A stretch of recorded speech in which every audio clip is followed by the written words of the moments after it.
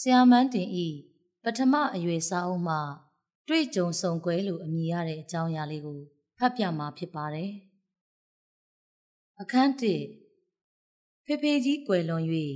ခုနှစ်ရက်မြောက်လာသောနေ့ရက်လေစွန်ကျွေးပြီးသည့်နောက်တွင် စီးပွားရေးအပြင်ရှေ့နေရေးထိုင်ရေးကိုပါ လူကြီးတွေတိုင်ပင်နေကြလေတယ်။အခုအလုတ်တိုက်မယ်ကုညီပြီးလှုပ်ဖို့လိုတယ်။ဒီကောင်လေးကိုပဲ ကြောင်းထွက်ခိုင်းပြီးသုံးပြီတော့အားလုံးသောလူကြီးများကဤကဲ့သို့အကြံပေးရာကိုကိုကျော်ကလည်းခေါင်းညှိတ်လိုက်တယ်။ကျွန်တော်အဖို့မှာတော့ဝမ်းနေ၍မဆုံးကြောင်းဆက်နေခြင်းပါသေးတယ်။ယခုမှသုံးနှန်းသို့တက်ရမည်ကြံကားရှိသေး။ကြောင်းထွက်ရတော့မယ်။ကျွန်တော်မိခင်ကြီးမကြာခဏပြောဘူးသလိုတန်ကြိုးစာကိုပင်မဖတ်တတ်သေးပါ။ကြောင်းဖွင့်သည့်နေ့တွင် မမတန်းဤအကိုတော်တူဖြစ်သူအရက်လူကြီးဥပတောင်းအားကျွန်တော်ကိုကြောင်းသွားနှုတ်ရန်တာဝန်လွှဲလိုက်တယ်။ကျွန်တော်လည်းဥပတောင်းနောက်မှခက်ကုတ်ကုတ်လိုက်လာခဲ့တယ်။မตาရသောနှလုံးမရွှင်ပြုံးသောမျက်နာကိုညီသူမှမမြင်စီလိုပါ။ကျောင်းဖွင့်စာနေမှုကျောင်းသူကျောင်းသားတို့ဟာတစ်လွင်သောအဝတ်အစားများကိုဝတ်ဆင်လာကြကုန်တယ်။ကျောင်းကန်းကြီးထဲတွင် ကျွန်တော်တို့ဆရာကြီးဟာ အောင်မြင်သောကျောင်းသူကျောင်းသားတို့အမည်ကိုတယောက်စီဖတ်ပြနေလေတယ်။အတန်းတက်ရသူများဟာရွှင်နေကြတယ်။ကြားတဲ့သူများမှာမဲ့နေကြတယ်။အချို့ရှိုက်ကြီးတငယ်ငိုနေကြသေးတယ်။ကျွန်တော်နာမည်လဲအောင်စင်းထဲတွင်ပါသွားပါတယ်။သို့တော့ကျောင်းနေရတော့မည်မဟုတ်သဖြင့်ဝမ်းမသာနိုင်ပါ။ကျောင်းသူကျောင်းသားတို့ဟာအတန်းတစ်တွေတဲသို့ဝင်သွားစဉ်ကျွန်တော်နဲ့ဥပါတောင်းဟာ ဆရာကြီးအခန်းသို့ဝင်လာကြလေတယ်။ဥပါတောင်းဟာကျွန်တော်အားကျောင်းနှုတ်ရန်လာကြောင်းကျောင်းထွက်လက်မှတ်ပေးပါရန်ပြောသောအခါပြုံးနေသောဆရာကြီးဟာချက်ချင်းမျက်နာပြတ်သွားက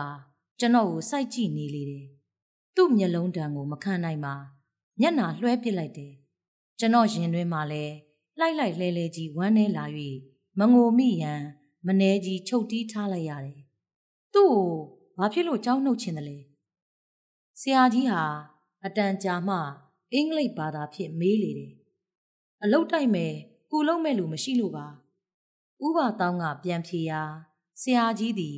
ခေါင်းကိုဘဲပြန်ညာပြန်ရမ်းနေလေတယ်။ပြန်ပြီးတော့စဉ်းစားပါဦး။အခုကြောင်းထွက်သွားရင် နောက်တော့နောင်နာရမယ်။ကြောင်းထားဖို့ပတ်စံမရှိဘူးလား။အခုနှုတ်မသွားပဲပြန်သွားပါ။သူ့အမေအဖေကို ကျုပ်ကမနှုတ်ဖို့ပြောတယ်လို့ပြောပါ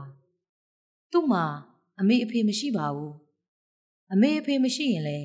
အခုကြောင်းထားတဲ့လူကိုပြောပါ။ကြောင်းထားဖို့ငွေကြေးမတက်နိုင်ဘူးဆိုရင်လေကျုပ်ကိုပြန်ပြောပါဦး။ဆရာကြီးဟာ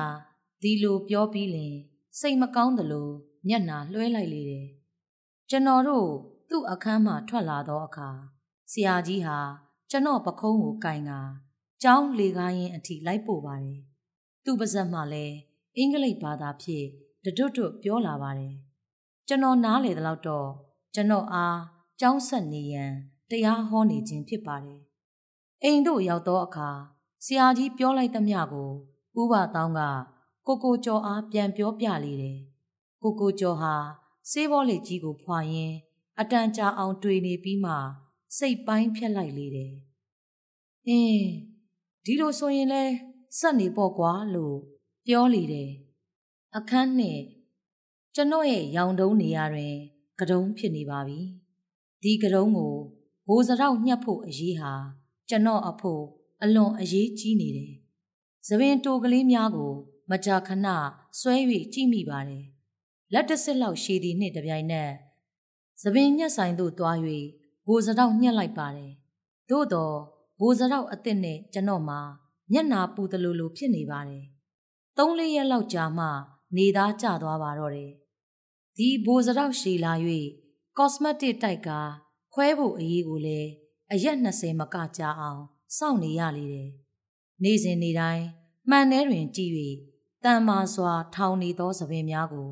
စီလိမ့်ရသည်မှလည်းအမောခွဲကြည့်ရသည်မှလည်းခဏခဏကြောင်းသွားကနီးဆိုရင်ဒီအလုတ်ကတလုတ် ဖေဖေကြီးဆုံးပြီး၍ခုနှစ်ရက်လဲသောအခါ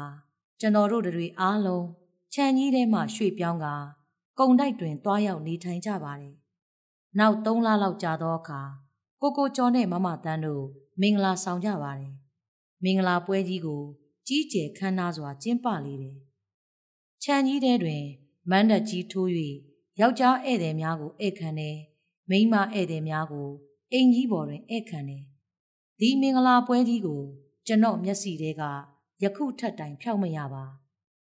မန်းတက်ကြီးထဲမှာပင်အငိမ့်နှစ်ဖွဲ့ပြိုင်နေကြတယ်တောင်ဘက်ပိုင်းမှပျော်တော်ဆက်မတ်တင်အောင်အဖွဲ့နဲ့မြောက်ဘက်ပိုင်းမှာလှကလေးစိန်အငိမ့်တို့ဟာညင်မြိုင်ကြီးအတုံးတော်ခံလျက်ရှိကြတယ်။အိမ်ကြီးပေါ်တွင်မူဦးချစ်ဖွယ်ကြီးနဲ့မတ်စိန်တုံတို့အဖွဲ့ကလည်းตาယာညင်းပြောင်းတီးမှုတ်တီဆိုဧခံလျက်ရှိတယ်။ကျွန်တော်အဖို့ ပျော်လို့မဆုံးအိမ်မော်တက်ပြေးလိုက်ခြံထဲဆင်းလာလိုက်နဲ့အငိမ့်တွေကိုလှဲ့ကြည့်နေတယ်။မောပြန်လင်ဧခံပွဲပြင်ပေးသည့်နေရာသို့ပြေးကာရေခဲမုတ်ကိုစားလိုက်စပြစ်တီးပန်းတီးကိတ်မုတ်တွေကိုစားလိုက်နဲ့ပျော်လို့မဆုံးတပြုံပြုံထိုနေ့မှစ၍ကိုကိုကျော်မမတန်းတို့ခြံကြီးတဲ့သူပြန်ပြောင်းသွားကြလေတယ်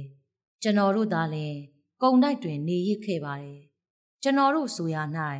တိုက်တွင်စရင်ခိုင်ဖြစ်သော ကိုကန်ထွန်းကိုကိုကျော်ဤညီဝမ်းခွဲတော်သူ မောင်အေးမောင်နဲ့ကျွန်တော်သာဖြစ်ပါတယ်တိုက်တွင်နေရသောကျွန်တော်အဖို့ကျင်းမြောင်းကြက်တဲလိုက်သည့်ဖြစ်ခြင်းမင်္ဂလာဆောင်ပြီးသည့်နောက်ခုနှစ်ညလုံးလုံးနေ့စဉ်ရက်ဆက်ခြံကြီးအတွင်ပွဲခံလျက်ရှိတယ်။ညနေကြီးမင်္ဂလာဆောင်ဖြစ်သည့်အတွက်မိတ်ဆွေသင်္ကာဟတွေသူ့ထက်ငါအငိမ့်ပွဲတွေနဲ့ ကူညီကြတယ်။သို့တော့ကျွန်တော်တို့အဖို့တိုက်မှညအခါတွင် ထွက်ခွင့်မရှိသောကြောင့်ပွဲကြည့်ခွင့်မရှိ လူအေးကြီးကိုကန်ထွန်းအတွက်နေနိုင်ရင်နေနိုင်မယ်ကျွန်တော်နဲ့အေးမောင်ကအဘယ်မှလျင်နေနိုင်အံ့နီပွဲစီမှစိုင်းတန်ကြားလျင်ပင်နှစ်ယောက်သားမနေနိုင်မထိုင်နိုင်ဖြစ်နေကြပါတော့တယ်ပွဲကင်းတဲ့သူသာပြေးသွားခြင်းမာတော့တယ်ဘလို့ကြံရပါမလဲလိုရင်ကြံစ နီးလန်းရတဲ့ကျွန်တော်တို့နှစ်ယောက်ကိုကန်ထွန်းကြီးကိုကပ်၍နှူးကြရပါတယ်ကိုကန်ထွန်းကလူရိုးလူအေးကျွန်တော်တို့နှူးရင်နူးပါတော့တယ်အေးကွာသွားကျင်သွားကြပေါ့ဒါပေမဲ့လူမသိစေနဲ့ကွာသူသည်နောက်ဆုံး၌ခွင့်ပြုရပါတော့တယ်ကျွန်တော်တို့လည်းစောင်းကြီးတွေခေါင်းမြီးချုံကအပြင်မှတော့ခတ်၍ပွဲသို့ထွက်ခဲ့ကြပါတယ် စောင်းတွင်မို့တော်တော့တယ်နှွေအခါဆိုရင်အခက်မကြခင်ပင်ခြံကြီးတဲ့သို့ပြန်၍ပြောင်းရွှေ့ခဲ့ရလေတယ်ဖေဖေကြီးမေမေကြီးလက်ထက်ကရှေးလူကြီးတွေမို့ကြက်တဲကျင်းမြောင်းစွာနေခဲ့ရသည်မှမထူးဆန်းယခုသူတို့ကွယ်လွန်ပြီးသည့်နောက်ကိုကိုကျော်မမတန်းတို့လက်ထက်ကြကမှထူးမခြားနာဖြစ်နေတဲ့အတွက်ကျွန်တော်တို့အဖို့ပို၍ခတ်နေပါတော့တယ်။ခြံကြီးထဲတွင် လူဟောင်းများအပြင်ကျွန်တော်နဲ့မတိမ်မယိမ်လူသစ်များလည်းတိုးလာပါတယ်။အေးမောင်အပြင်ကျောင်းတကားတွင် အတော်ကြဘိုးကြခဲ့သော မောင်ရွှင်လဲခြံကြီးထဲသို့ရောက်လာပြန်ပါတယ်။နောက်ဆုံးတွင်မန္တလေးအမျိုးသားကျောင်းမှထုတ်ပြရသောဘဝမှာကုံအယောင်အဝယ်တင်ရန်ကိုကိုကျော်မမတန်းတို့ထံသို့ရောက်လာပြန်တယ်။နောက်တစ်ယောက်ကကိုကိုကျော်ဤအကိုဝမ်းခွဲတော်သူကိုတော်ဖြစ်ပါတယ်။ သူလည်းဘဝမျိုးစုံကျင်လည်ခဲ့သူဖြစ်လေတယ်။ခြံဆောင်ဒရဝံကိုတဲ့အောင်ပေါင်းထားပြီးလင်ညအခါတွင် မကြာခဏခိုးထွက်ကြတယ်။ပွဲတကားကိုရောက်တယ်။ရုပ်ရှင်ကောင်းရင်လည်းမလွတ်တမ်း။မောင်ရွှင်နဲ့ကိုတော်မှမူလူရည်လေသလောက်အေးမောင်မှာဝါစာဖြစ်လေတယ်။ပွဲကင်းတဲ့သူသူနဲ့တွဲသွားရင် အရိုက်မခံရအောင် အတော်ဂယုစိုက်ရတယ်။သူ့ရဲ့ မခန့်လေးစားမျက်နှာထားဇောင်ကြွားကြွားအမူအရာဟာမျက်နာမြင်ရိုက်ချင်ပါစေဟုသောဆုတောင်းနဲ့ပြည်ပြီးသားဖြစ်နေတက်လေတယ်။ကျွန်တော်ဟာသူတို့၃ယောက်ထက်ငယ်ရွယ်သူဖြစ်ပါတယ်။ထို့ကြောင့်သူတို့နဲ့ဒန်းတူထားမပေါင်းပါ။သို့တော့တဖြည်းဖြည်းတော့ဇက်သွင်းပါတယ်သူတို့သုံးယောက်အတွက်မှမူတယောက်နဲ့တယောက်တဲ့လဲမတဲ့ကြပါခင်လဲခင်ကြပါတယ်ရှုံမှုပွေမှု ပိုးမှုပန်းမှုများတွင် အကြံတူရန်သူဖြစ်နေကြပါတော့တယ်သုံးတန်းတွင်နှစ်တန်းဆရာဦးထွန်းမင်းနှင့်ပင် ပြန်လဲတွေ့ရတယ်ဦးထွန်းမင်းဟာကျောင်းသူကျောင်းသားမရွေစာမရလင်အလွန်ရိုက်ပါတယ်သုံးတန်းတွင်တစ်နှစ်ကုန်ပြန်သောအခါလေးတန်းသို့တက်ရပါတယ်လေးတန်းဆရာမ Miss Morris ဟာတကြောင်လုံးတွင် အသင်အပြအကောင်းဆုံးဟုကြော်ကြားလေတယ်ကြော်ကြားသလောက်လဲ တော်ပါပေတယ်လေးတန်းတွင် ပထမအစမ်းစာမေးပွဲပြီးသောအခါပထမရရှိသဖြင့်ငါးတန်းသို့တင်ပေးလေတယ်ပထမအစမ်းစာမေးပွဲတွင် ပထမရသူများကိုဤကဲ့သို့6လနှင့်အတန်းတင်ပေးသောစနစ်ကိုဒီနှစ်မှစ၍တီထွင်ခြင်းဖြစ်လေတယ်6လနှင့်အတန်းတက်ရသောကျွန်တော်မှာဝမ်းသာ၍မဆုံးကိုကိုကျော်လဲကျွန်တော်အတွက်အားရလျက်ရှိလေတယ်အေး မင်းအခုငားတန်းတက်ရတာတော့ဟုတ်ပြီစာမေးပွဲကြီးကြတော့ငားတန်းအောင်မမလားအောင်အောင်စူးစမ်းကွာမင်းအောင်ရင်စပိန်တစည်းဝယ်ပေးမယ်ကွာကိုကိုကျော်ကဒီလိုအားပေးစကားပြောသောအခါကျွန်တော်မှအားတက်သွားပါတယ်ကြိတ်၍စူးစမ်းရာဒုတိယအစမ်းစာမေးပွဲတွင် အတန်းထဲ၌စရုပ်ထရလေတယ်သို့တော့အားမလျှော့ပဲဆက်လက်စူးစမ်းပြန်ရာစာမေးပွဲကြီးတွင် တတိယရ၍အောင်သွားလေတယ်ကျွန်တော်ဟာစပိန်ရနိုးနဲ့စောင့်နေမိပါတယ်စပိန်ကလည်းစီးတက်ဆဖြစ်၍အလွန်အမင်းလိုချင်နေတယ်သို့တော့ကိုကိုကျော်ဟာစပိန်အကြောင်းကိုစကားပင်မဆတော့ပြီကျွန်တော်လည်းအတင်းမပူစားရဲစိတ်စိတ်ပင်နေလိုက်ရပါတော့တယ်ကျောင်းဖွင့်သောအခါ6တန်းသို့တက်ရလေတယ်ပထမအစမ်းစာမေးပွဲနီးသောအခါကိုကိုကျော်ဟာ စပိန်အကြောင်းကို စကားဆပြန်လေတယ်ကဲဒီတစ်ခါ6လနဲ့9တန်းတက်ရအောင်စူးစမ်းကွာငါတကယ်စပိန်ဝယ်ပေးမယ်ပြောသည့်အတိုင်းပင်စူးစမ်းရပြန်ပါတယ်ပထမရသူများကို အတန်းတင်ပေးမယ်လို့ဆရာကြီးကပြောထားသဖြင့်အထူးစူးစမ်းကြလေတယ်6တန်းသည် A နှင့် B နှစ်တန်းရှိရာသင်ပြသောဆရာများမှာအတူတူပင်ဖြစ်လေတယ်ဥပမာ အင်္ဂလိပ်ဘာသာသင်သောဆရာဟာနှစ်တန်းစလုံးကို အင်္ဂလိပ်ဘာသာပြရတယ်အခြားဘာသာများတွင်လည်းထိုနည်းအတူပင်ဖြစ်လေတယ်ပထမအစမ်းစာမေးပွဲပြီးပြီးကျောင်းပိတ်လိုက်သောအခါကျွန်တော်မှာအိမ်တွင်အေးအေးမနေနိုင်ဆရာအိမ်သို့ခဏခဏသွားမေးရပါတယ်ဆရာသည်အိန္ဒိယအမျိုးသားဖြစ်တယ်ကျောင်းဝင်းထဲမှာပင်နေထိုင်တယ်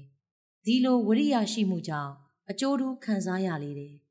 ကျွန်တော်သည်စင်စစ်အားဖြင့်6တန်း A တွင်ဒုတိယရရှိလျက်ရှိလေတယ်သို့တော့ဆရာဟာကျွန်တော်ရဲ့အမှတ်များကိုမိန်းကလေးတဦးဤအမှတ်များနဲ့မှားကာကျွန်တော်ကိုစရုပ်ထပေး၍ထိုမိန်းကလေးကိုဒုတိယပေးထားပါတော့တယ်ကျွန်တော်မှာဝမ်းနေ၍မဆုံးဆရာဘယ်နဲ့လောက်တာပါလဲအေးကွာဆရာအမှတ်စင်းထဲတာမှားသွားပြီပြင်းနေရင် အကုန်ပြန်ရေးနေရမယ်ကွဒီတော့ဒီအတိုင်းပဲထားလိုက်ပါတော့ကွယ်မင်းဒုတိယရလို့လည်းမထူးပါဘူးပထမရတဲ့လူမှအတန်းတက်ရမှာပဲဟာကျွန်တော်ဒီဆရာကိုဘာမှပြန်မပြောဝွန်တို့နှင့်ခေါင်းငိုက်ဆိုင်ကြကကျောင်းဝင်းကြီးကိုဖျက်၍အိမ်ပြန်လာခဲ့ပါတယ်ဟယ်လိုဝိုင်းဆရာကြီးဤအတန်ဖြစ်တယ်ဆရာကြီးသည်ကျောင်းအပေါ်ဆုံးထက် သူ့အခန်းပရင်းပေါက်တွင်ရက်လျက်ကျွန်တော်ကိုခေါ်နေပါတယ်ကျွန်တော်သည်အပြေးကလေးတက်သွားပါတယ်ဘဲကလာတယ်လေဆရာကြီးကအင်္ဂလိပ်ဘာသာနဲ့မေးလေတယ်ကျွန်တော်အတန်းဆရာအိမ်ကလာပါတယ်ကျွန်တော်ကလည်းအင်္ဂလိပ်ဘာသာနဲ့ပြန်ဖြေပါတယ်အမှတ်မှားသည့်အကြောင်းကိုတိုင်ရကောင်းမလားလို့လဲစဉ်းစားနေပါတယ်မင်းဘယ်လောက်ရတယ်လဲဆရာကြီးဟာဒီလိုစမေးလိုက်ရင် ကျွန်တော်ဒီမအောက်နိုင်တော့ပဲအမှတ်မှားသည့်အကြောင်းစုံကိုဆရာကြီးအားအင်္ဂလိပ်စကားမတက်တတ်နဲ့ပြန်ပြောလိုက်လေတယ်ဆရာကြီးသည်မျက်နာပြက်သွားပါတယ်အေးငါမေးကြည့်မယ်ကျွန်တော်လဲပေါ့ပါစွာပြန်လာခဲ့ပါတယ်နောက်အောင်စရင်ထွက်လာသောအခါကျွန်တော်ဒုတိယဖြစ်နေလေတယ်သုံးရက်လောက်ကြာသောအခါပထမရသူများကို အတန်းတင်ပေးရာ ဒုတိယရသူကျွန်တော်ပါပါသွားပါတော့တယ်အကြောင်းကတင်ပြသည့်ဆရာချင်းလဲအတူတူစစ်သည့်ဆရာချင်းလဲအတူတူဖြစ်နေသည်တွင်အေတန်းမှဒုတိယရသူကျွန်တော်ဟာဘီတန်းမှပထမရသူထက်အမှတ်များနေသောကြောင့်ဖြစ်ပါတယ်ခုနှစ်တန်းသည်ထိုကျောင်းတွင် အမြင့်ဆုံးအတန်းဖြစ်လေတယ်အတန်းဆရာဥပတိုက်ဟာအထူးဂယုစိုက်၍သင်ပေးလေတယ်ကြက်စာများကိုလိုက်နိုင်တော့လဲ ခဏန်းတင်ချာများကို မလိုက်နိုင်အောင်ဖြစ်နေပါတယ်ထို့ကြောင့်ဆရာဥပတိုက်အိမ်သို့ညစ်အခါတွင်ညအကြောင်းသွားတက်ရပါတယ်ဆရာက အခကြီးငွေမယူဘဲစေရနာနှင့်တင် जा ပေးခြင်းဖြစ်လေတယ်ညနေထမင်းစားပြီးလျင်ယုံတော်ကြီးသို့ခြေချင်းလျှောက်၍ဓာတ်ရထားကိုနှစ်ပြားပေးစီကရွာဟိုင်းဈေးရက်တွင်ရှိသောဆရာအိမ်သို့သွားရလေတယ်ဆရာဟာ တင်ချာများကိုဂယုစိုက်၍တင် जा ပေးလေတယ်တခါတရံည10နာရီ17နာရီမှပြီးပါတယ်ပြီး၍အိမ်ပြန်ချိန်တွင် အတော်ကြီးမိုးချုံနေပါပြီဓာတ်ရထားများလည်းတိမ့်ပါပြီမြင်းရထားဖြစ်ပြန်ရန်လဲဇရိတ်မတက်နိုင်ပါဒီလိုမိုးချုံနေရင်မြင်းရထားကတမတ်လောက်ပေးရမှာဖြစ်တယ်တမတ်သောအတပြားကျွန်တော်အိတ်ထဲတွင်မရှိပါထို့ကြောင့်အိမ်အပြန်တွင် ခြေကျင်ပြန်ရပါတယ်ဒီညတွင် နေတိုင်းထက်ပို၍မိုးချုပ်တယ်ချမ်းအေးသောရာသီလည်းဖြစ်တယ်ခက်လှမ်းလှမ်းမှတန်ချောင်းခောက်တန်၁၂ချက်ကိုကြားရတယ်ဆရာအိမ်မှထွက်၍လမ်းကြီးအတိုင်းစာအုပ်ကိုပိုက်၍ရှောက်လာခဲ့ရာလူသူလေးပါးဟူ၍တစုံတယောက်မျှမတွေ့ရလမ်းမီးတွေတော့လင်းနေပါတယ်သို့တော့လမ်းမကြီးတစ်ခုလုံး၆ကက်လျက်ဘာတန်ကိုမှမကြားရပါ ဝဲရာရှိအိမ်များတိုက်များလဲစောင်းတွင်ဖြစ်၍တကားတွေကိုအလုံးပိတ်ထားကြပါပြီကျွန်တော်ရဲ့ခြေတံသာလင်ကျွန်တော်ရဲ့အဖော်ဖြစ်ပါတယ်အတော်ပင်အားငယ်လာသောကြောင့်တချင်းအော်ဆိုရရင်ကောင်းမလားလို့အောင်းမိမိတယ်သို့တော့ဆိုလို့မဖြစ်တခါမှလည်းဒီလိုအော်မဆိုဘူးပါဒီလိုဆိုရင်ဖះနှုတ်ကပတ်တော်များကိုရွတ်ရင်မကောင်းပါလောဘာကိုရွတ်ရမည်နည်း ဣတိပိသောကိုရွတ်ပါမည်ဣတိပိသောဘဂဝါအရဟံတမ္မာတမ္ဗုဒ္ဓောကျွန်တော်သည်ခတ်တိုးတိုးရွ၍ခတ်တုတ်တုတ်လျှောက်သွားစဉ်နောက်မှခြေတံလိုလိုကြား၍လှဲ့ကြည့်လိုက်ရာအလိုလေးသပင်စုပ်ဖွားတဲ့လူကြီးတယောက်ကျွန်တော်နောက်သို့အပြေးလိုက်နေတာကို တွေ့ရပါတော့တယ်အဘယ်မှလင်ဣတိပိသောကိုဆက်၍ရွတ်နိုင်တော့အန်နီသူနဲ့ကျွန်တော် ငားလန်လောက်သာကွာပါတော့တယ်သူ့လက်မှလွတ်ရန်တဟုန်နဲ့ပြေးပါတော့တယ်တရေလောတပတ်လောငါ့ကိုအစိမ့်လိုက်ဝါတော့မယ်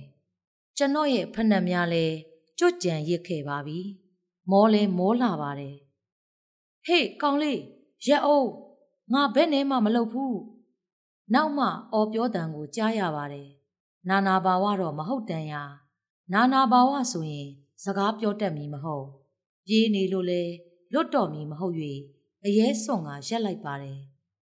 ကျွန်တော်နားသို့ကတ်လာကလက်ကိုကင်ဆွဲ၍ဟာဟာဟာဟုကျဲလောင်စွာရည်နေပါတယ်သူသည် လူကြီးတယောက်ဖြစ်ပါတယ်သို့တော့ရိုးရိုးလူမဟုတ်ပါကျွန်တော်တို့တွေ့မြင်နေကြအယူကြီးဖြစ်ပါတယ်ကျွန်တော်ရင်ထဲတွင်တဒိန်းနေဖြစ်နေပါတယ်မင်းငါညီလေးပဲဘဲကပြန်လာတယ်လေ အကိုကြီးပြောစမ်းသူသည်ချိုသားစွာမေးနေလေတယ်ဆရာအိမ်ကပြန်လာတာပေါ့ဗျာစိတ်ထဲမှာကြောက်တော်လဲအတန်မာမာနဲ့ဖြေလိုက်ပါတယ်အမလီလီဆရာအိမ်ကပြန်လာတာဘာဖြစ်လို့မော်တော်ကားကြီးနဲ့မပြန်တယ်လဲဟင်ငါညီခြေချင်းလျှောက်နေတာမကြည့်နိုင်လို့အကိုကြီးမိန်းမနဲ့အတူတူဘိန်းရှူနေရကထလာခဲ့ရတယ်ဒါတော့မင်းကပြေးသေးတယ် အကိုကြီးမိန်းမယူပြီးပြီငါညီမသိဘူးလားဟင်ငါမိန်းမတိတ်လာတာကွာဟိုရှေးတုန်းကဂျောဘရင်ရဲ့ရီစာအုံမာဒါနီလိုပဲဟဲဟဲသူသည်ထင်ရာတွေကိုရှောက်ပြောနေပါတယ်ကျွန်တော်လဲသူ့လက်မှယုံကကြံရစ်ခဲ့သောဖက်နှက်ကိုပြန်ကောက်ပါတယ်သူလဲကျွန်တော်နောက်ကလိုက်လာပြီးတတွတ်တွတ်ပြောနေပါတယ်ငါညီအကိုကြီးမိမလိုက်ကြည့်မလား လာကွာလိုက်ကြည့်ပါဦးတိတ်လှတယ်ကွာမကြည့်ချင်ပါဘူးဗျာကျွန်တော်ဒီလှဲ့ထွက်ခဲ့ရာသူလဲနောက်မှတကောက်ကောက်လိုက်လာပါတယ်ငါညီကလည်းဒေါ်ကြီးပဲအကိုကြီးကတော့ညီလေးဆိုပြီးချစ်လိုက်ရတာကျွန်တော်လဲအပြေးကလေးသွားနေရာသူလဲအမိလိုက်နေပါတယ်ခတ်ပြီးဘယ်နဲ့လို့ရပါမလဲနောက်ဆုံးနိုင်အကြံတစ်ခုရလာလေတယ်ကဲအကိုကြီးပြန် အကိုကြီးမိမကလှကလှနဲ့ခမားမရှိတော့သူများနဲ့လိုက်ပြေးအောင်မယ်ဒီလိုပြောလိုက်လျင်ချက်ချင်းလမ်းသွားရက်သွားပါတယ်အေးငါညီပြောတာမှန်တယ်ပြန်မပဲရော့ရော့မင်းဒါယူပြီးမော်တော်ကားစီးသွားသူသည်ပြောပြောဆိုဆိုကျွန်တော်လက်ထဲသို့တစုံတရာကိုထည့်၍လှည့်ပြန်သွားပါတယ်ဟေးနတ်ပြန်ကဝင်ငယ်ဦးဟေးအကိုကြီး ဟိုနားကမကြီးပင်အောက်ကမြောင်းဘေးမှာနေတယ်ခက်လှမ်းလှမ်းရောက်သောအခါအော်ပြောသွားပါတယ်သူပေးခဲ့သောအရာကိုလမ်းဓမီရောင်တွင်လက်ဝါးဖြန့်ကြည့်လိုက်ပါတယ်ငွေမက်စိဝိုင်းဝိုင်းလေးကျွန်တော်လဲစာစာရှိသည်နှင့်ယုံတော်ကြီးတို့သွားကစိုင်သိန်းအံဆဲဆဲခောက်ဆွဲဆိုင်သို့ဝင်၍တမတ်တန်ခောက်ဆွဲတစ်ခွက်အပြင်ခိုင်းပါတယ်ခောက်ဆွဲပကံရောက်လာသောအခါအနှဲငယ်မြည်၍ ပေါ့နေသောကြောင့်ငံပြာရည်ထည့်လိုက်ပါတယ်ကန်ဆိုးကျင်တော့ငံပြာရည်ပလင်းဘူးစို့ပြုတ်ပြီးလင်ငံပြာရည်တွေခောက်ဆွဲပကံထဲသို့ဒရဟောဆင်းကုန်มาတော့တယ်စားလို့မရတော့ပါသို့နှင့်စိတ်ပြက်လက်ပြက်ကြီးနေရာမှထကအယူပေးလိုက်သောငွေမက်စိတစီကိုတရုတ်အားပြစ်ပေးပြီးလင်ခတ်တုတ်တုတ်ထွက်လာခဲ့ပါတယ်လေးငါးလှမ်းလောက်ပင်လှမ်းရပါသေးတယ်နောက်မှတ ရုတ်အော်တန်ကိုကြားရပါတယ်ဟက်ကောင်လေးဘာကောင်လဲမကောင်းတဲ့မက်ဆေ့ပေးတယ်အင်းဒီတခါမှခတ်တော်တယ်ပြန်သွားပြီးမက်ဆေ့ကိုကင်ကြည့်ရာတကယ်ပင်ဂဲမက်ဆေ့ကြီးဖြစ်နေပါတော့တယ်အင်းခတ်တာပဲဒါပဲပါတယ်ဘယ်နဲ့လုံးမလဲကျွန်တော်ကမျက်နှာချိုသွေး၍ပြောပါတယ်ကောင်းလေးမကောင်းဘူးအာကီးလိန်နေ ပေါက်ဖို့ဒေါသထွက်နေပါပြီကဲရော့ဒါယူထားလိုက်နက်ပြန်ခါမှလာရွေးမယ်ကျွန်တော်ဒီအိတ်ထဲမှာဖောင်တိန်ကိုတရုတ်အားအပေါင်ပေးခဲ့ရပါတော့တယ်နောက်တနေ့ကြားမှာကားမောင်းသမားစာမိထံမှပတ်စံတမတ်တောင်း၍ရွေးရလေတယ်နောက်နေ့ညများတွင်ဒီအယူကိုတွေ့နေပါသေးတယ်ကျွန်တော်ပြန်တိုင်းမကြီးပင်အောက်မှထွက်၍ထွက်၍လာတယ်စကားတွေကို တွေ့ကြရပြောရင် အတော်လှမ်းလှမ်းကြအောင်လိုက်လာတတ်တယ်သူ့တကူလုံးအဝတ်စုပ်တွေနဲ့ရစ်ပတ်ထားပါတယ်အသက်40ခန့်ရှိသည်ထင်တယ်လေးရက်မြောက်သောနေ့တွင် မတွေ့တော့ပါကျွန်တော်လဲသူ့ကိုတန်ရောစဉ်ဖြစ်နေ၍မေးမြန်းစုံစမ်းပါသေးလဲမြည်သူမျှမသိကြနောက်၃လလောက်ကြာသောအခါကျမှညနေဆောင်တွင်ဈေးကြိုထဲ၌တွေ့ပါတယ်သို့တော့သူကျွန်တော်ကိုမမှတ်မိတော့ပါ ဒီတခါအောင်အောင်စူးစမ်းဟိအောင်ရင်တော့စပိန်တကယ်ဝယ်ပေးမယ်ကိုကိုကျော်သည်အားပေးစကားပြောပြန်လေတယ်သူအားပေးသည့်အတိုင်းပင်စူးစမ်းပါတယ်စာမေးပွဲကပြီးပါပြီသို့တော့တထိတ်ထိတ်နဲ့စောင့်နေရပါတယ်ဆရာကြီးကစာနဲ့အကြောင်းကြားမည်ဆို၍စာလာချိန်တွင်မျော်တော်စောနဲ့မောနေရလေတယ်နနက်10နာရီလောက်တွင် ကျွန်တော်ဟာ ဝိထုစာအုပ်တအုပ်ကိုဖတ်နေပါတယ်ကိုကိုကျော်ဟာစပိန်တစ်တစည်းကိုစီးကခြံထဲသို့ကုံတိုက်မှပြန်လာလေတယ်ဟေးလာဟေးသူသည်ကျွန်တော်ကိုလှမ်းခေါ်လိုက်တယ်ကျွန်တော်လဲစာအုပ်ကိုချကပြေးသွားလေတယ်ယော့ယော့မင်းမို့စပိန်ငါဂရိထားတဲ့အတိုင်းမင်းမို့ဝဲလာတာမင်းစာမေးပွဲအောင်တဲ့အကြောင်းမနက်ကပဲဆရာကြီးစီကစာရတယ်ကိုကိုကျော်သည် ပြောရင်စပိန်အစ်စ်ကိုကျွန်တော်လက်သို့လှမ်းပေးလေတယ်ကျွန်တော်လဲလက်ကင်မှနေ၍လှမ်းယူလိုက်လေတယ်ဝမ်းသာလို့မဆုံးတနတ်သုံးလက်တစ်စိမ့်နဲ့စပိန်ကလေးဟာမဲနေသည့်နေရာမှာလဲတလက်လက်ဖြူနေသည့်နေရာမှာလဲတဝင်းဝင်းကျွန်တော်သည်ကွန်းပဲ့သွားမှဆို၍ခတ်ဖို့ဖို့တက်ပြီးလင်ဥယင်ကြီးကိုလှဲ့ပတ်ကာစီးနေပါတယ် ခန်းသုံးကျောင်းတွေပြန်ဖွင့်ချိန်တွင်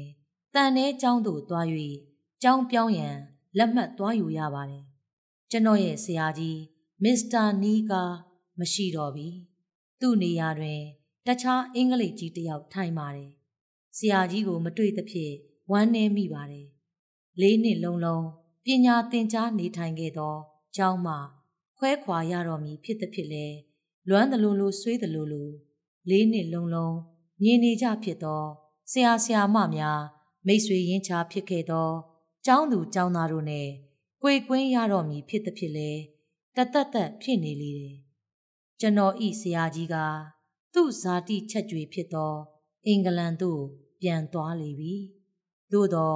နေရင်ဇာတိသို့မရောက်နိုင်ရှာတော့ပြီလန်ခီသင်းမောပေါ်မှာပင်ရုတ်တရက်ကွယ်လွန်သည်ဟုသောသတင်းကို မကြခင် ကြားရလေတယ်သူ့အလောင်းကို ထုံးစံအတိုင်းပင်လယ်ထဲတွင် ပြစ်ချခဲ့ရတယ်လို့ကြားရသောအခါပို၍ပင်ယူကျုံမရဖြစ်ရပါတော့တယ်ကျွန်တော်လည်းအထက်တန်းကျောင်းဖြစ်သောကယ်လီကျောင်းသို့ပြောင်းရွှေ့လာရလေတယ်ကယ်လီကျောင်းအုပ်ကြီးမစ္စတာဟင်တန်ဟာအမေရိကန်လူမျိုးဖြစ်တယ်ဒီဆရာကြီးလည်းရီမွန်သူဖြစ်ပါတယ်သို့တော့ကျွန်တော်နဲ့မူ ခုနှစ်တန်းကျောင်းဆရာကြီးလောက်ရင်းရင်းနှီးနှီးမရှိလားကျောင်းဆရာများမှာ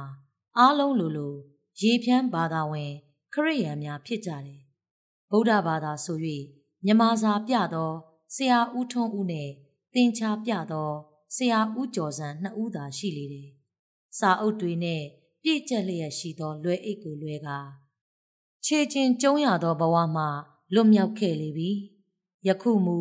စပိန်အစ်စ်ကိုစီးကာ အဝတ်အစားကောင်းကိုဝေ၍စာအုပ်များကို နောက်ထိုင်မော်တွင် တင်ပြီးလျင်ခတ်ကြွားကြွားကလေးသွားနိုင်ပါပြီစပိန်တစ်နဲ့ចောင်းသားဟာចောင်းတွင် မျက်နာပွင့်လှပါတယ်ကားနဲ့လာသောចောင်းသားထက်အတိမိတ်ဆွေလှုပ်ချင်သူပေါများလေတယ်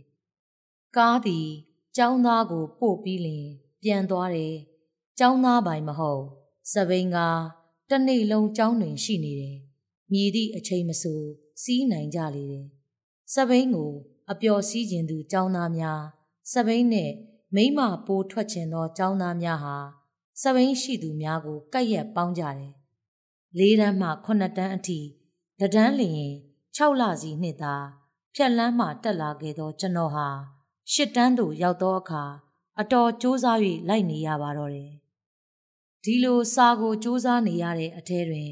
စပိန်ကလေးရှိနေ၍လေခြင်းပတ်ခြင်းစိတ်ကလည်း အတော်များလာပါတယ်။စပိန်နဲ့တွားရရင်ဘယ်မဆိုတွားခြင်းနေပါတယ်။ကျောင်းတွားရင်လည်းဈေးကြိုကိုပတ်လိုက်တယ်။ကျောင်းပြန်တွင်လည်းညောင်မင်းဈေးသို့ရောက်ချင်ရောက်သွားတယ်။အိမ်မှ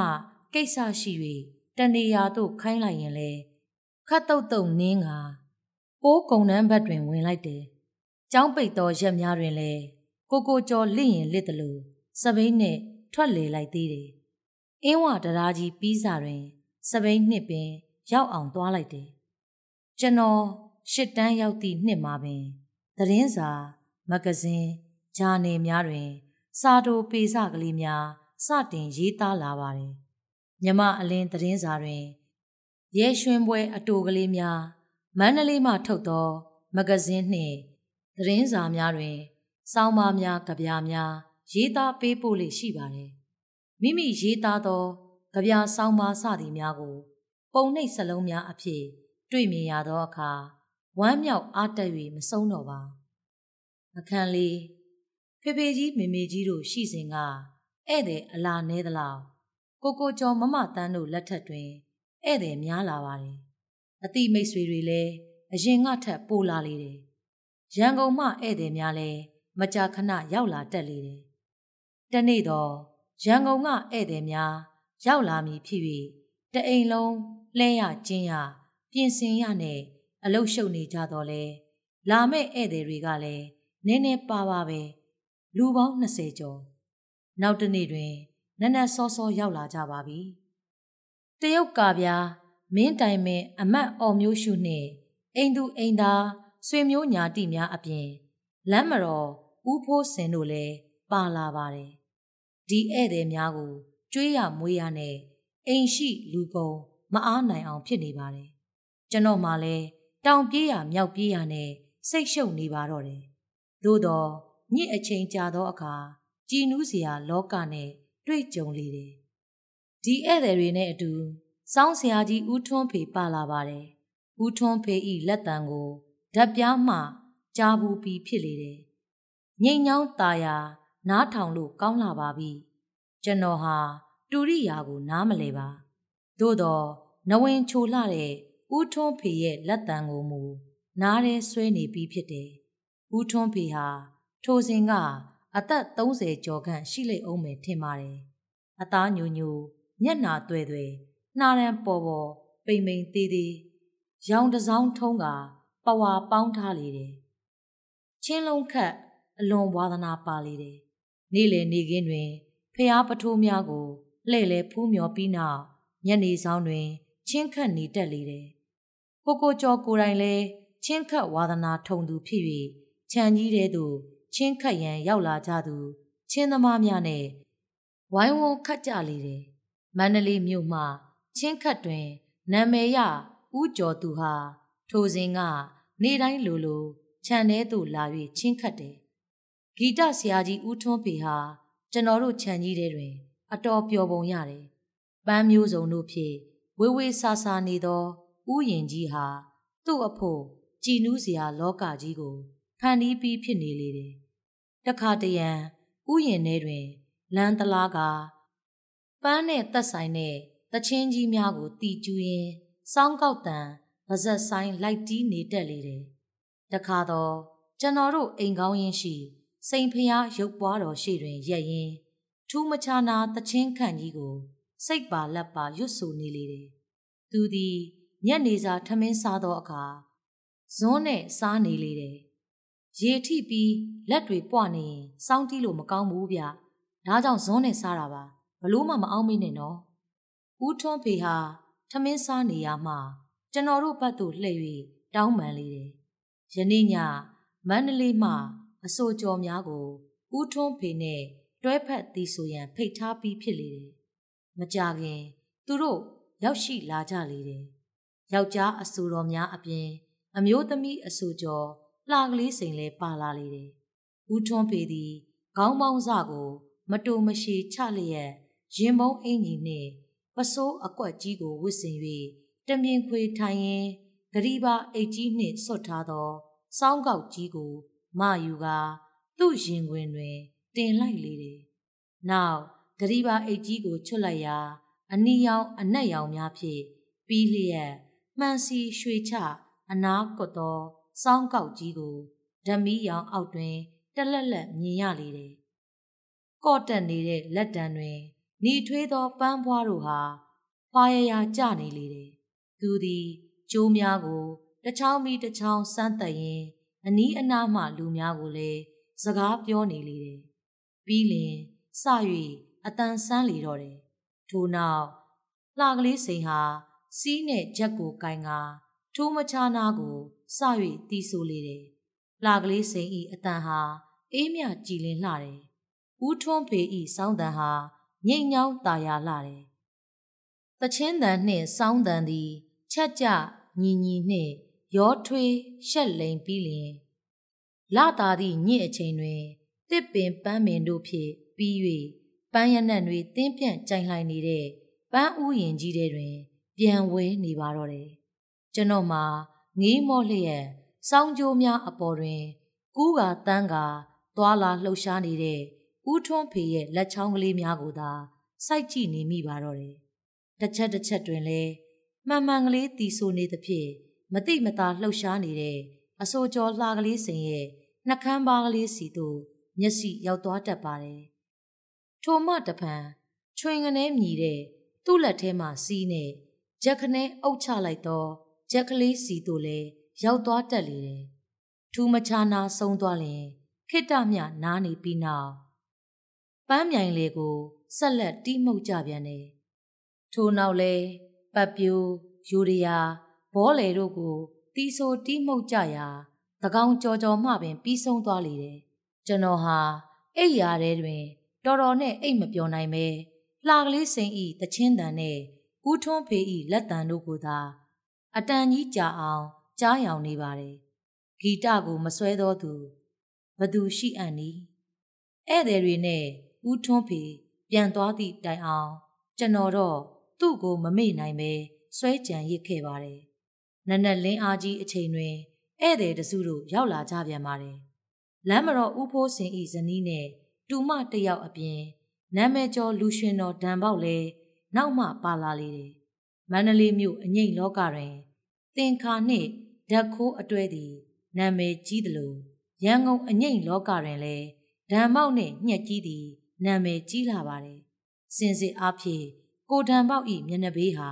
ရည်စရာမဟုတ်ပါ ဝစ်ပုံစားပုံတတ်တတ်ရရနဲ့လူရည်မွန်တယောက်ဖြစ်လေတယ်သို့တော့စင်မော်တက်လိုက်သည်နှင့်တပြိုင်နက်လူရှင်တော်အမည်နှင့်လိုက်ရောစွာရွှင်လာသောမျက်နှာဘေးကိုတွေ့ရတယ်သူပြောလိုက်တိုင်းရည်စရာဖြစ်လာပါတော့တယ်ကျွန်တော်တို့တွေဟာကိုတံပေါက်နှင့်ခဏချင်းအကျွမ်းတဝင်ဖြစ်သွားပါတော့တယ်သူတို့ဟာ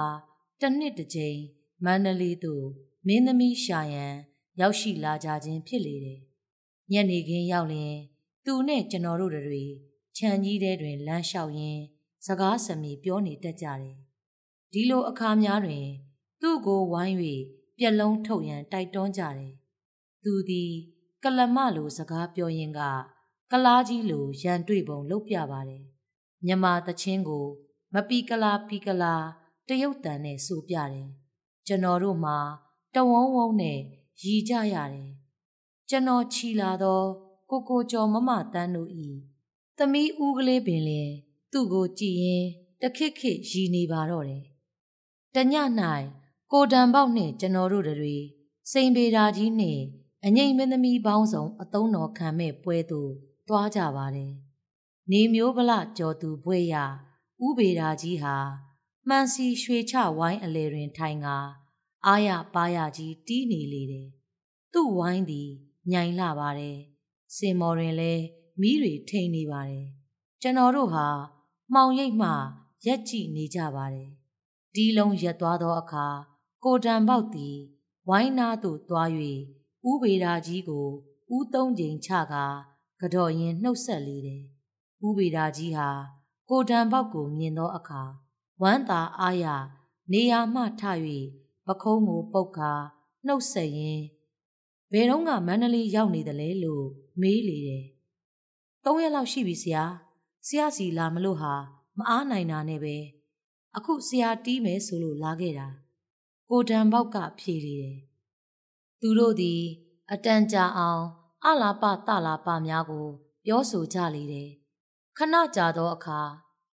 ကဲကိုလူ ရောက်တဲ့ပေါက်တဲ့အခါခိုင်းတယ်လို့တော့မအောင်မေးနဲ့ စင်မော်တက်ပြီးတပွဲတလန်ဆန်းလိုက်စမ်းပါဦးဥပေတာဟာဆိုင်းဝိုင်းအတွင်းတွင်ထိုင်ကပတ်လုံးကလေးများကိုစံရင်တိုက်တွန်းလိုက်လေတယ်ဟာမလုပ်ပါနဲ့ဆရာမဖြစ်ပါဘူးကိုတန်ပေါက်ကညင်းလေတယ်မဟုတ်ပါဘူးတပည့်ရာဆရာကိုကူညီတဲ့သဘောပေါ့အခုလူပြက်တွေလည်းတယောက်မှမရောက်သေးဘူးကွပွဲကြည့်တွေလည်းစုံကုန်ပြီဒီတော့သူတို့မလာခင်လောက်တော့ ပွဲကိုထိန်းတဲ့သဘောနဲ့တက်လိုက်စမ်းပါကွာလာမဲ့လူတွေကဘသူတွေလဲဆရာဟာစုံလို့ပဲကွာသင်္ခါလဲပါတယ်ဗလိုင်ကြီးလဲပါတယ်ဟာဖြစ်ပါမလားဆရာသူတို့စိတ်ဆိုးနေမှဖြစ်ဒါဆရာတာဝန်ထားပါရော့ဗလိုင်ပစိုးယူဝစ်ပြီးတက်ကွာမင်းနဲ့တွဲဖို့မြောက်ဘက်ဇက်ကလူပြက်တယောက်ခေါ်ထားတယ်ဥပေတာဟာပစိုးရှည်ကွက်ကြားတစ်ထည်ကိုထုတ်ပေးရင်ပြောလေတယ်။ ကဲကိုလူတို့တပွဲတလန့်တော့စမ်းရအောင်ပါပဲ။ကိုတန်ပေါက်သည်ကျွန်တော်တို့ဘက်လှည့်ပြောကာ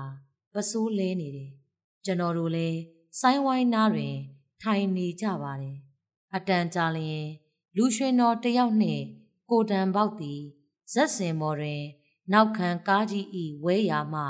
တယောက်တစ်ဖက်ထွက်လာကြပြီးပရိသတ်ကိုကြော့ကြလေတယ်ကြော်ပြီးလင်တစ်ဖက်မှလူရှင်တော်ဟာ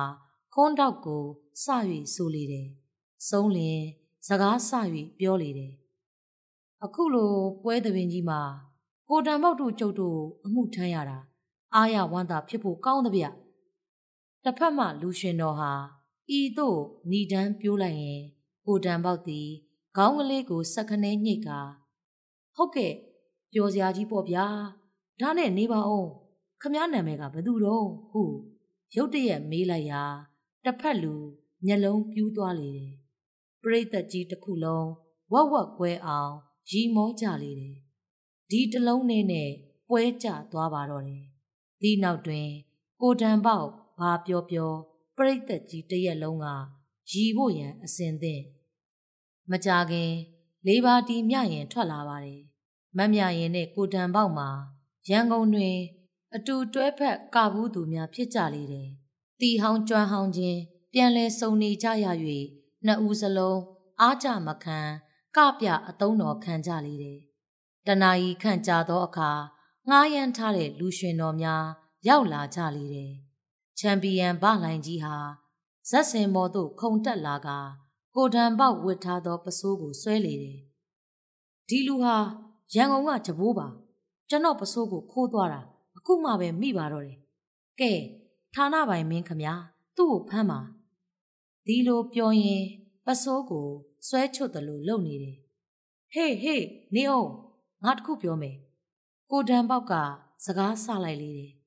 အေးမင်းဘာညင်းကျင်သေးတယ်လဲဘာလှိုင်ကြီးကရက်၍မေးလေတယ်ပစိုးလူတာတော့လူပေါ့ကွာဒါပေမဲ့ဖြည်းဖြည်းတတ်တာလုပ်ပါကွာမင်းလက်မကြီးနဲ့ငါထိုးမိတာနားတယ်ကွကိုတံပေါက်က ခက်ကြဲကြဲပြောလိုက်ရာဘာလှိုင်ကြီးဤလက်မတစ်ချောင်းတိုနေသည်ကိုတိထားပြီးတော့ပွဲကြည့်ပြိတ္တဟာအုံအုံကြွက်ကြွက်ရီမောကြရာ အတော်ပတ်တုတ်ယူရလေတယ်ကိုတံပေါက်သည်မင်းသမီးမျိုးစုံနဲ့တွဲဖက်ကသကောင်းကျော်သည့်အထိကပြရလေတယ်။ပွဲပြီးမှပင် ကျွန်တော်တို့နဲ့အတူအိမ်ပြန်လာပါတယ်။အိမ်သို့ရောက်သောအခါဒရဝံကိုခေါ်မရနိုင်သဖြင့်ကျွန်တော်တို့၅ယောက်စလုံး မြင့်မားသည့်ဝင်းထရန်ကြီးများကို ကြော်တက်ကြရလေတယ်။ဒီရက်ထဲခွေးကဟောင်းလိုက်သေးတယ်။အခန်းကခြံကြီးထဲတွင် သူတို့တဲခိုနေစဉ်သပင်သည်ဘောင်းစုံကို တွေ့ရလေတယ်။လေပါတီမတ်မြရင်လှကလေးစိန်ရွှေအိုးစီခင်ကြီးဒုတိယငွေမြိုင်အစရှိတဲ့အငိမ့်မင်းသမီးများအပြင်နန်းတော်ရှိဆရာတင်ဆရာထားအစရှိတဲ့ တချင်းရေးဆရာများလည်းရောက်လာတတ်ပါတယ်။နန်းတော်ရှိဆရာတင်ဟာပတ်တလားကိုခောက်ကာခောက်ကာအတန်ဆန်းရင်တချင်းဆက်နေသည်ကိုယခုထက်တိုင်းမြင်ရောက်နေပါသေးတယ်။ once more မြညွန့်အားပောက်ကံပုံးရီတချင်းတက်ပေးနေသည်ကိုလည်းထင်တရေးနှင့်မြင်သေးပါတယ်တခါတရံကျွန်တော်တို့တောင်းပန်လျင် သူဆက်ပြီးတချင်းများကိုဆိုရင်တီးပြလေတယ် once more မြညွန့်ကိုမူတတိမရပဲမနေနိုင်ပါအဖြစ်အပျက်ကဤတို့ရှိပါတယ် once more မြညွန့်ဟာရခင်အငိမ့်စရာနဲ့ပတ်သက်သည့်ကိစ္စတစ်ခု မပြီးပြတ်သေးသောကြောင့်ရန်ကုန်သို့မသွားနိုင်သေးပဲကျွန်တော်တို့ခြံထဲအိမ်တွင်တလလောက်နေသွားရလေတယ်သူသည်အသားဖြူဖြူလုံးကြီးပေါက်လာဖြစ်ပါတယ်အငိမ့်မင်းသမီးဖြစ်သည့်အလျောက်အမှုအရာကောင်းတယ်စကားပြောလိမ့်ပါတယ် မျက်နှာပေးရွှင်တယ်ထို့ကြောင့်ခြံထဲတွင်ရှိသော လူပြိုပေါက်လူပြိုသိုးတွေဝိုင်း၍ပိုးကြလေတယ်ဒီအထဲတွင် အစိုးဆုံးနှစ်ယောက်မှာ မောင်ရွှင်နဲ့ကိုတော်တို့ဖြစ်လေတယ်အေးမောင်ဟာထိုစဉ်ကမိမရနေပြီဖြစ်၍ပိုးကျင်ရက်နဲ့ခတ်နေပါတယ်ကျွန်တော်အဖို့မှလည်းចောင်းသားဖြစ်နေသည့်အပြင်မမတန်းနဲ့အမအပြူကြီးကိုကြောက်နေရ၍အိန္ဒရီဆောင်ကပွင့်ပွင့်လင်းလင်းမပိုးရဲပဲ တမာရီပိုးလောက်နဲ့သာတင်းတိမ်နေရပါတယ်ကိုတော်နဲ့မောင်ရွှင်တို့အကြံတူရန်သူဖြစ်နေကြလေတယ်ကိုတော်ကလည်းသူ့ကိုယ်သာကြိုက်တယ်လို့ထင်နေတယ်မောင်ရွှင်ကလည်းထိုနည်းအတူပဲဟေ့ငါကအိမ်မှာပူးပူးကက်ကက်နေရတာကွာအိုးချင်းထားအိုးချင်းညှိတယ်ကွကိုတော်ကဤသို့အလွဲလွဲအချော်ချော်ပြော၍ရင်ကော့ပြတယ်အိုးချင်းထားအိုးချင်းထိကြိုးချင်းထားကြိုးချင်းညှိပါဗျ ကျွန်တော်ကပြင်ပေးရတယ်အေးကွာဘာပဲဖြစ်ဖြစ်ကောင်မလေးငါ့ကိုကြိုက်နေတာကွာမောင်ရွှင်ကိုဂယုစိုက်တာမဟုတ်ဘူးသူပြောသလိုတော့လဲဟုတ်တယ်လို့လို့ကိုတော်ဟာအိမ်ကြီးတွင်မိဖို့ကြောင့်တာဝန်ကိုယူရတယ်ကိုတော်ထမင်းဟင်းချက်နေရင်မတ်မြညွန့်အနားရောက်နေတတ်ပါတယ်အနားမှာကြက်သွန်တင်ပေးတယ်ငရုတ်သီးကူထောင်းပေးတယ်တခါတရံကိုတော့ကိုရက်ခတ်ပေးနေတတ်တယ်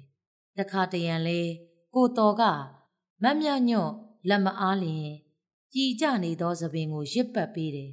လက်သေးတွေရှည်နေရင်လဲစိတ်ရှည်လက်ရှည်လှီးပေးတယ်သူတို့နှစ်ယောက်အတော်နီးစပ်နေကြပါတယ်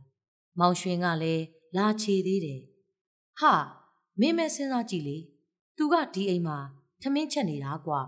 ငါကစရေးကြီးကဲစရေးကြီးနဲ့ထမင်းချက်ကိုအငိမ့်မင်းသမီးကဘသူကြိုက်မတယ်လေကဲ သူပြောတော့လေဟုတ်တယ်လို့လို့တနေ့ကလည်းညညွန့်နဲ့သူပန်းကြံကြားတွင်တီးတိုးစကားပြောနေသည်မဟုတ်ပါလောကျွန်တော်အဖို့တော့ကျွန်တော်လဲမကတ်ရဲသည့်အတူတူသူတို့နှစ်ယောက်လဲဘသူမှမစုံပါစေနဲ့ဟုသောသဘောကြီးကြီးနဲ့တယောက်နဲ့တယောက်ရန်တိုက်ပေးထားလိုက်ပါတယ်ကိုတော့ကြည့်လုံတော့ပုံငနဲတော့ပါသွားမယ်သူကစရေးကြီးဗျကျွန်တော်ကဒီလိုပြောလိုက်ရင် ကိုတော်ကြီးမှာ မျက်လုံးပြူးသွားတတ်ပါတယ်ဟေ့မောင်ရွှင်ပုံငနဲကြီးကလူလေကြီးစရာကြည့်လို့ဒီလိုကြားလင်မောင်ရွှင်လဲပြာရာခတ်သွားတတ်ပါတယ်ထို့ကြောင့်သူတို့နှစ်ယောက်တည်တယောက်ကိုတယောက်အလစ်မပေးပဲအမြဲချောင်းနေကြလေတယ်ကျွန်တော်တို့တွေဟာအိမ်ရှိတွင်ခင်းထားတဲ့ကုတ်ပစ်ကြီးပေါ်တွင် စီတန်းအိတ်နေကြပါတယ်။ຫນွေဥရုများတွင်ညင်ဥရန်၌အေးအေးလူလူ ဒီလိုအိတ်နေကြဖြစ်တယ်။အတော်ညစ်နှက်မှမိမိတို့အိတ်ရာသို့ဝင်ကြမြဲဖြစ်တယ်။သို့တော့ကိုတော်နဲ့မောင်ရွှင်ကတယောက်ကိုတယောက်အလစ်မပေးစားတူအိတ်တူသွားတူဖြစ်နေကြပါတယ်။တယောက်ပြောက်နေရင် အခြားတယောက်ကမတွေ့တွေ့အောင်လိုက်ရှာပါတယ်။ထိုနေ့ညင်ဦးတွင် ကျွန်တော်သည်မေးကနေပျော်သွား၍ဖြတ်ခနဲနိုးလာသောအခါကိုပြစ်ပေါ်တွင် မောင်ရွှင်မရှိတော့ပါ ကိုတော်နဲ့တန်ပေါက်လဲအိပ်ပျော်နေကြပါတယ်။မောင်ရွှင်ရောက်နေမဲ့နေရာကိုကျွန်တော်အတက်သိပြီးဖြစ်တယ်။ဟေးကိုတော်ထထမောင်ရွှင်မရှိတော့ဘူး။ကိုတော်ကြီးသည်ကြပြားကတိနဲ့နေရာမှထထိုင်ပါတယ်။ဟေးခတ်တာပဲကုန်ပြီထင်တယ်ဟေ့။ तू ညညော့အခန်းအောက်သွားမှာပဲ။လာလိုက်ဖမ်းရအောင်။ကျွန်တော်တို့နှစ်ယောက်သည်ခြေပြားထောက်ကအိမ်အောက်သို့ဝင်ခဲ့ကြပါတယ်။ အင်းကြီးအဖြူနဲ့ဆိုလင်မှောင်ထဲတွင် အထင်းသားမြင်နေမည်ဆို၍စွတ်ကျဲအင်ကြီးများချွတ်ကာကြောင်းကြိုက်၍တွားသွားကြပါတယ်။တအိမ်လုံးမှောင်နေပါတယ်ဓမီခလုတ်ရှိသောတိုင်သို့ရောက်လျင်နှစ်ယောက်သားတိုင်ကိုကပ်၍နားထောင်ကြပါတယ်။ဘာသာမှမကြားရပါ။အတန်ကြာမှတီးတိုးစကားပြောတန်ကိုကြားရပါတယ်။ဟေ့ဒီကောင်ငါပြေးထိုးမယ်။မှောင်ရိပ်ထဲတွင် ကိုတော်ကြီး ဒေါသဘုံထနေ၍မနှဲကြီးဆွဲထားရပါတယ်။သို့တော့သူ့အားနဲ့ကျွန်တော်အားမမျှကြာရင်ခတ်တော်မီဖြစ်၍ဓမီခလုတ်ကိုနှိပ်လိုက်ရာတအိမ်လုံးလင်းလင်းထိန်သွားပါသည်ဟောမိယောင်အောက်တွင် အကြံသမားမောင်ရွှင်ကိုပတ်ပင်းမှာတွေ့ရပါတော့တယ်ကလတ်ထိုင်နှလုံးကိုစင့်ကာတက်၍အင်ကြီးတုံးလုံးနှင့်ကျမ်းပေါင်းမှလက်နှိုက်နေလေတယ်ဟေ့ လာခဲ့လာခဲ့မောင်တော်သည် ခြေလှမ်းကျဲကြီးနှင့်သူ့ထံသို့အသွားမောင်ရွှင်သည် ကလတ်ထိုင်ပေါ်မှခုံစင်းကာထွက်ပြေးပါတော့တယ်ကျွန်တော်တို့နှစ်ယောက်ဟာအတင်းလိုက်ဖမ်းရာ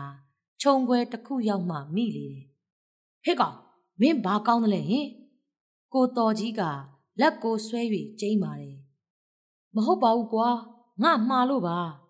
ငိုတန်ပါနဲ့ပြောလေတယ်အမ လူဘာဝလို့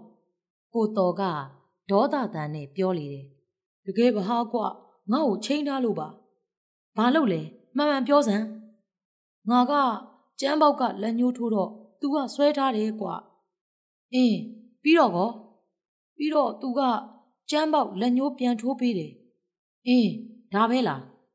ငါကလည်းသူ့လက်ညှိုးကလေးကိုဆွဲထားတာပေါ့ဆွဲယုံမဲလားမှန်မှန်ပြောငါက ဆွဲလို့အားမရလို့လှမ်းကင်မယ်လို့တုံးမင်းတို့မီးဖွင့်လို့ခွာကြတာပေါ့ကွာ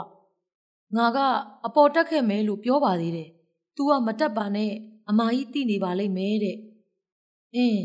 ဒါလောက်ဆိုရင်ကိစ္စမရှိသေးဘူးလာသွားမယ်မောင်ရွှင်ကိုဆွဲ၍ပြန်လာခဲ့ကြပါတယ်အိပ်ရာထဲရောက်သောအခါအားလုံးငြိမ်နေကြရမှ မောင်ရွှင်ကစ၍စကားပြောပြန်ပါတယ် ကိုတော်ဒီလိုရှုပ်တာတော့မကောင်းဘူးကိုလည်းမစွန်မဲနဲ့သူများကိုနှောက်ယှက်တယ်မင်းလည်းငါ့ကိုနှောက်ယှက်တာပဲကဲနက်ပြန်ခါကစပြီးမနှောက်ယှက်တန်းပိုးလို့ရတယ်လို့ယူတန်းအေးကောင်းပြီနော်တော်တော်ကြာတော့မင်းငါစွန်နာကိုမဖြတ်စည်းနဲ့ကောင်းပါပြီဗျာမင်းသာဂရိတီးပါစေ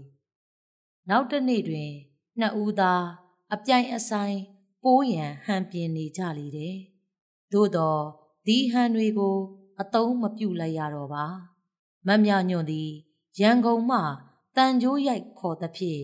ကြိုက်ကြရိုက်ညနေယထာဖြင့်ပြန်သွားရလေတယ်။မောင်ရွှင်နဲ့ကိုတော်တို့ဟာလွမ်းတတတကြံရစ်ခဲ့ကြလေတယ်။ဆရာမန်းတင်ဤပထမအရွယ်စာအုပ်မှာတွေ့ကြုံစုံကွဲလို့အမည်ရတဲ့အကြောင်းအရာလေးဒီနေရာမှာပဲပြီးဆုံးပြီဖြစ်ပါတယ်။